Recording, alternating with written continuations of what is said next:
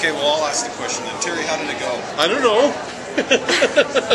no, I, I think it went pretty well actually. I uh, we this is our what our fourth one, our third one, I think, something like that. I mean, we've been doing it for a long time, but Tim and I have been doing this is our third or fourth one, and we've noticed on Thursday things are a little quieter. This is day number two. Yeah, and day number two, things get a little quieter on the phones. So if you're watching this on the website, we need you to call. And uh, and also the stories get a little tougher to listen to. Do they ever? I A think little bit. everybody is emotionally a little more raw. And what always floors me, though, day one, two, or three, is the strength and courage of the families. Yeah, I, I, this is another thing that, that never ceases to amaze me. We heard some stories this morning that I always, you leave here and you always take stories home with you.